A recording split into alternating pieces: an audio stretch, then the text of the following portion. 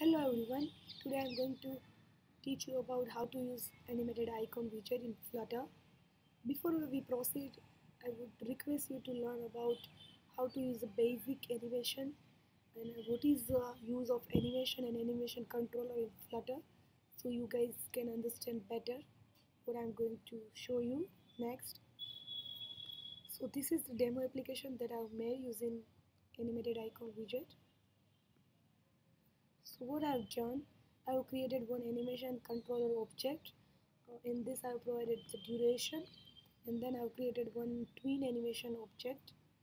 And in that I've provided one begin and end begin as a 0 and end as a 1 because we need to pass uh, here we need to pass 0 to 1 value as progress. Wait I'm going to show you yes.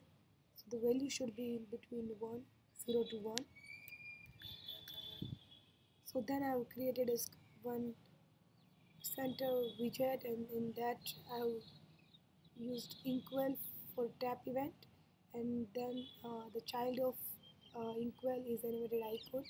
Here I have provided the size of the icon progress. In in progress I have used animation object. And the icon I have used play pause icon from animated icons.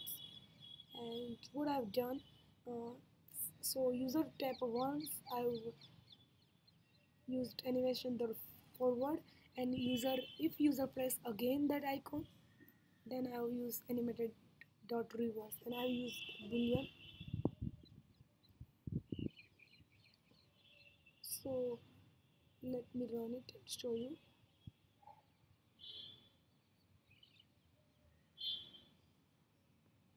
here you can see nice animation.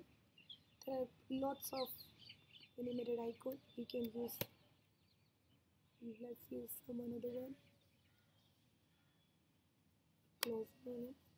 Let's see. Looks.